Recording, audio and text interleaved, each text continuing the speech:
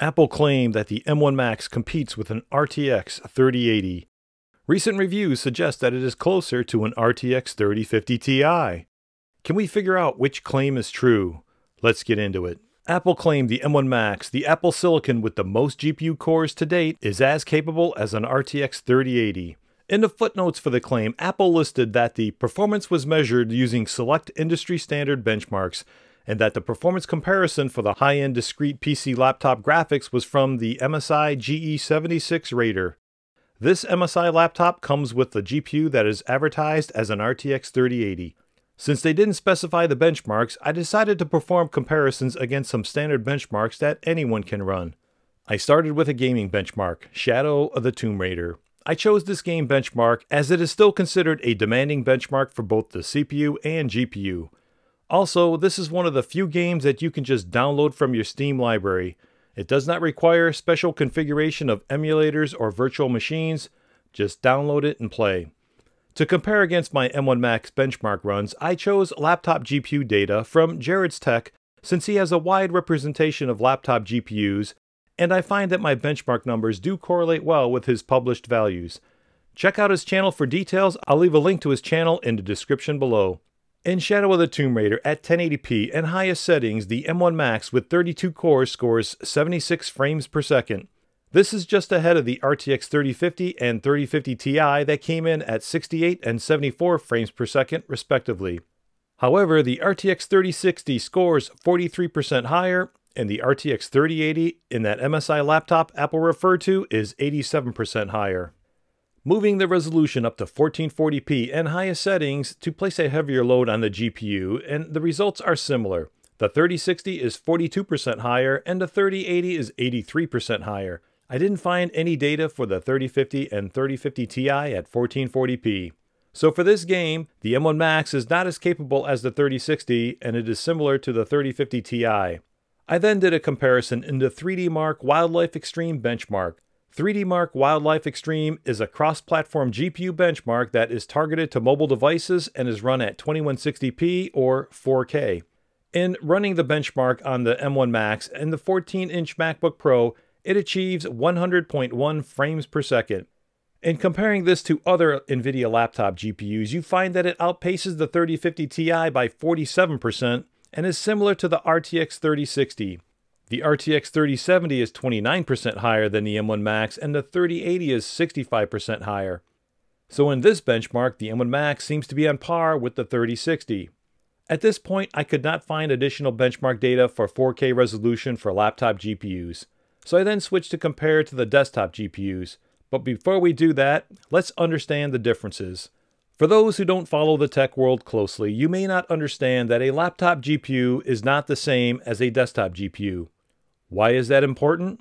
Because a laptop 3080 is not the same GPU as a desktop 3080. If we look at NVIDIA's desktop GPUs and key on the number of CUDA cores, you can see that the desktop RTX 3080 has just over 8700 of them. If we then add the laptop GPUs, we can see that the laptop 3080 has just over 6100 CUDA cores. That amount of CUDA cores is equivalent to the desktop RTX 3070 Ti. The desktop 3080 with 42% more CUDA cores is in a class above the laptop version with the same name. Likewise, the laptop 3070 with its slightly more CUDA cores is more comparable to a desktop 3060 Ti. Only the laptop 3060 actually has 7% more CUDA cores than its desktop equivalent, just with half the VRAM. The inconsistent naming between desktop and laptop GPUs is not just an NVIDIA thing, as AMD also follows suit in naming its Navi 22 die as an RX 6700 XT in the desktop, while then calling it an RX 6800M in the laptop. A desktop RX 6800 uses the two times larger Navi 21 die. It just shows that laptop and desktop GPUs with the same names are typically not the same GPU die. We just need to understand where they are similar based on the die used. Going back to Shadow of the Tomb Raider and starting at 1080p highest settings, the M1 Max lags the desktop 3060 by 35%, and the 3060 Ti and 3070 are almost twice as fast. Moving up to 1440p highest setting, the M1 Max still lags the 3060 by 33%, and the 3060 Ti and 3070 are still twice as fast. Moving up to 2160p or 4K, the M1 Max is still 33% behind the 3060, while the 3060 Ti and 3070 are still about two times as fast. Again, in this game benchmark, the M1 Max is not as capable as the 3060, however, it will likely be closer to the desktop 3050 series when they are released. Now I was able to have access to a computer with a desktop RTX 3060 Ti and a Ryzen 5 5600G CPU. Based on the results, I wanted to run additional benchmarks to understand if the highest graphic settings had a larger impact on the M1 Max. I ran the benchmark at 2160p on all five settings from highest to lowest. The M1 Max performance improved 10% in moving from highest to high, only 3% in going from high to medium, then, in going from medium to low settings, the performance improved 36%. Finally, in going from low to the lowest setting, the performance only increased by 20%. The RTX 3060 Ti performance improves 17% in going from the highest to the high setting. It only changed 5% in going from high to medium. From medium to low, the performance increased by 20%. Finally, in going from low to the lowest setting, the performance only increased by 19%. From this benchmarking, we can conclude that the M1 Max sees similar scaling as the RTX 3060 Ti when the settings change from highest to lowest. Now, to get an idea of its computing capability, I downloaded and ran Luxmark. This is another benchmark that has not been optimized for Apple Silicon. In the ball render scene, the M1 Max is 20% behind the 3060 Ti. In the microphone render scene, the M1 Max is 60% behind the 3060 Ti, and in the hotel render scene, the M1 Max is 53% behind the 3060 Ti. Going back to the 3D Mark Wildlife Extreme benchmark and comparing it against the desktop GPUs, you see that the M1 Max is within 7% of the RTX 3060, while the 3060 Ti outpaces it by 46%. Looking at another 4K synthetic benchmark in Basemark GPU, the M1 Max again shows to be as capable as an RTX 3060, and the 3060 Ti is 33% higher in performance. The last synthetic benchmark, GFX Bench 5, will look at its most demanding benchmark, Aztec Ruins, at both 1080p and 1440p. At 1080p, the M1 Max is 8% faster, and at 1440p, the M1 Max is also 8% faster than the desktop 3060 Ti. Comparing the performance of GFX Bench 5 back to the other laptops, we find that the 6800M to be 7% faster than the M1 Max 14-inch, and the MSI laptop that Apple referenced to be 12% faster. Finally, the M1 Max in the 16-inch MacBook Pro is 10% faster than the 14-inch M1 Max and within 2% of the laptop 3080. But let's not forget what we learned earlier. The laptop 3080 is not the same as a desktop 3080, the desktop 3080 with its 42% higher amount of CUDA cores is 43% faster than the laptop 3080. What have we learned? And how do we answer the original question? Is the M1 Max as capable as a laptop 3080 or is it more like a 3050 Ti?